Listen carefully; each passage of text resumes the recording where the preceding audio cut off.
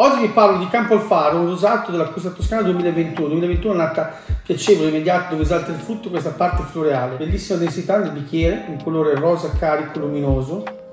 Al naso queste sfumature di cocomero, meno grano, questa sfumatura un po' iodata e selvatica.